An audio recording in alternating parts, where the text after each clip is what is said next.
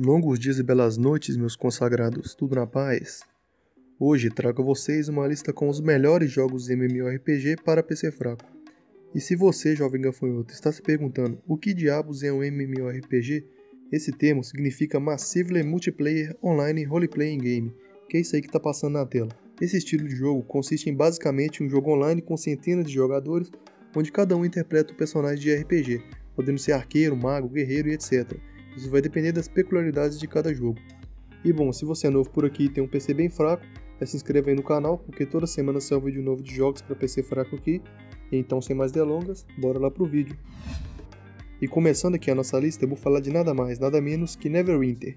Neverwinter é um MMORPG de ação totalmente gratuito no Steam. Se você é uma pessoa engajada nesses assuntos de RPG, você com certeza já deve ter ouvido falar no famoso RPG de mesa Dungeons Dragons, né?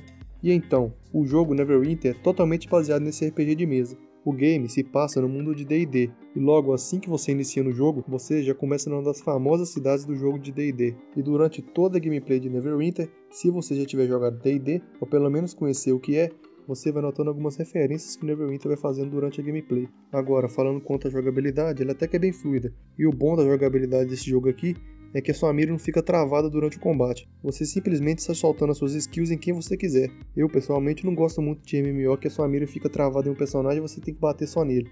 Eu gosto de jogo que você joga que nem Neverwinter, que a sua mira fica solta e você está soltando as suas skills em todo mundo. Agora falando dos gráficos do jogo, até que são bem feitos. E outra coisa, ele é totalmente legendado e traduzido para português. Então recomendo para todo mundo pelo menos testar esse jogo, porque ele é grátis, traduzido para português e é muito leve, roda em qualquer PC fraco, então vale a pena cara testar Neverwinter. Baixa aí na Steam e joga, você com certeza vai gostar desse jogo aqui.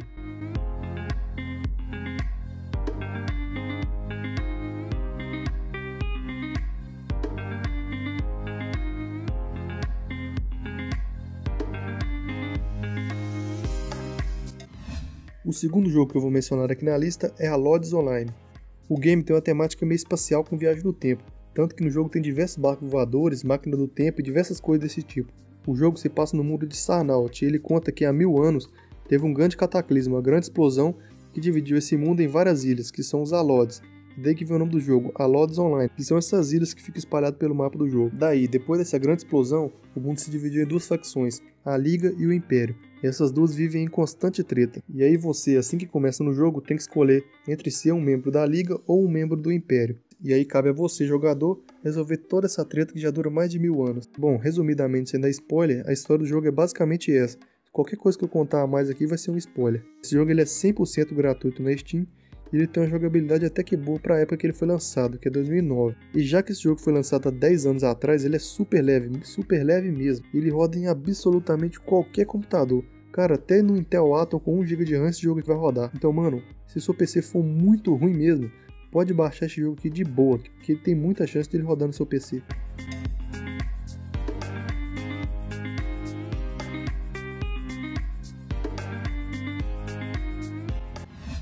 Se você é um fã de animes que nem eu, você tem altas chances de gostar do game Twin Saga. A história do jogo conta que há muito tempo o mundo era comandado por duas deusas, Marina e Amaris. Até que num certo momento elas começaram a brigar e tretar entre si e o mundo virou um verdadeiro caos. E agora cabe a você, jogador, entrar no meio de toda essa treta nesse mundo mágico e restaurar a paz. Bom, na minha humilde opinião, dois pontos fortes que esse jogo aqui tem são a jogabilidade dele, que é bem simples e bem de boa jogar, e também outra coisa são os gráficos, que são bem coloridos, seguindo bastante o estilo de anime. Também tem o fato de que você não precisa de ninguém para poder evoluir no jogo. Se você abrir esse jogo aqui e começar a jogar sozinho, você vai poder upar de boa sem precisar de ninguém. Mas é claro que MMORPG é sempre bom jogar com amigos. Mas se você quiser jogar sozinho também, você vai poder upar de boa. Então fica aí mais uma recomendação de jogo, Twin Saga. Pode baixar e jogar porque ele é bem leve, você não precisa de ninguém para poder upar, tem uns gráficos legal e a jogabilidade é muito boa também. Também tem uma história até que legal, então fica aí mais uma recomendação.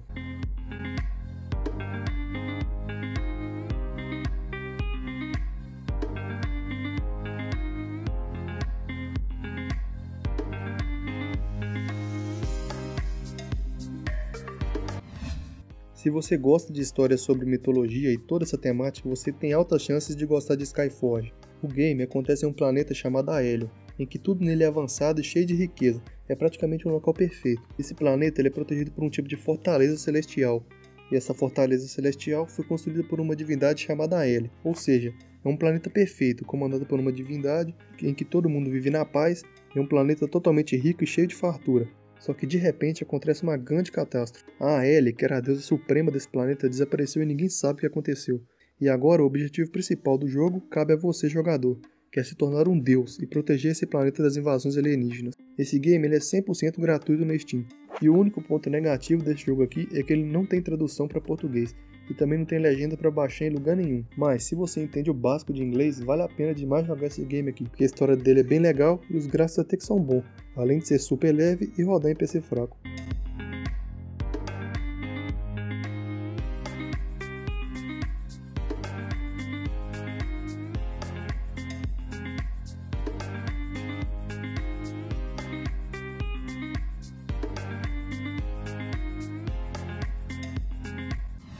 O próximo jogo dessa lista é nada mais nada menos que Santiceia Online. Para quem já assistiu os Cavaleiros do Zodíaco há mais de 10 anos atrás quando passavam na televisão, vai sentir uma nostalgia gigante jogando Santiceia Online.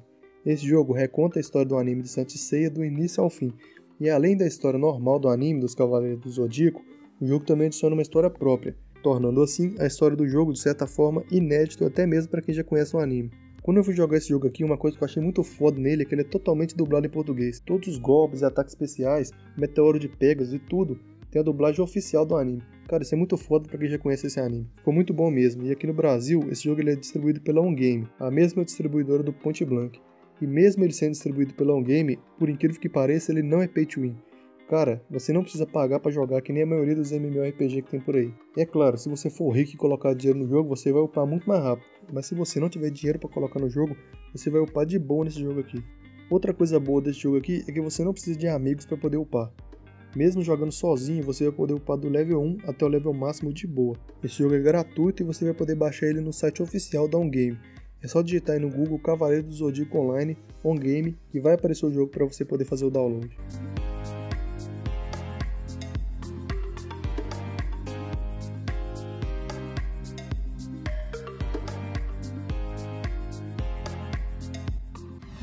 Bom, agora vamos falar um pouco de história. Aqui no nosso mundo real, vários e vários séculos atrás, tinha uma série de rotas comerciais que interligava a Ásia e a Europa. E essa rota comercial acabou sendo chamada de Silk Road, ou seja, Rota da Seda em português. E bom, Silk Road Online é um MMORPG que se passa historicamente nesse período e nesse exato local na Ásia. No jogo, assim que você começar a jogar, você vai escolher entre duas classes, chinês ou europeu. E dependendo de quem você escolher, você vai poder comprar itens somente da classe que você escolheu. Se você escolher o europeu, você só vai poder comprar itens da classe europeu, somente itens que forem fabricados na Europa. E se você escolher chinês, você só vai poder comprar itens que forem fabricados na China. E dentro dessas duas classes tem três outras subclasses, que são comerciante, ladrão e caçador. Você vai poder ter um europeu ladrão, um chinês caçador e etc. À medida que você vai andando pelo mapa do jogo, você vai encontrando diversas dungeons com criaturas mitológicas, como dragão, criaturas da mitologia chinesa, da mitologia nórdica da Europa e por aí vai. O jogo tem diversas batalhas PVP também e tudo que um clássico MMORPG precisa. E o diferencial desse jogo aqui é a história dele, né? Porque ele é baseado na história do mundo real. Além do jogo ser super leve e rodar em qualquer computador fraco.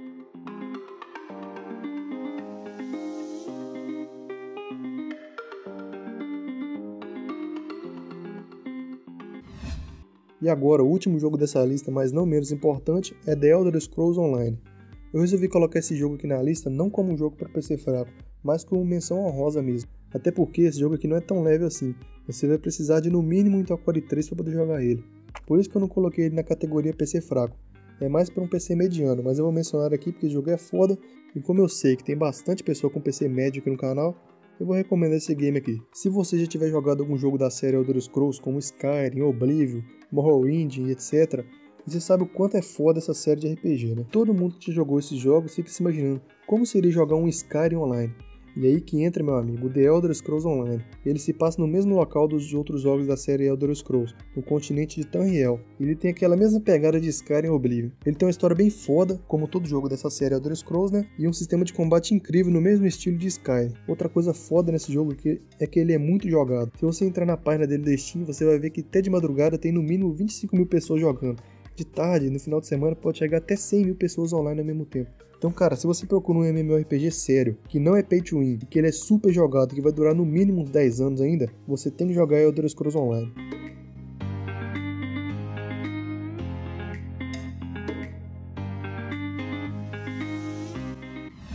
Bom, esse aí foi mais um vídeo de top jogos para PC fraco aqui do canal. Se você gostou do vídeo, já deixa o seu like, se inscreva no canal.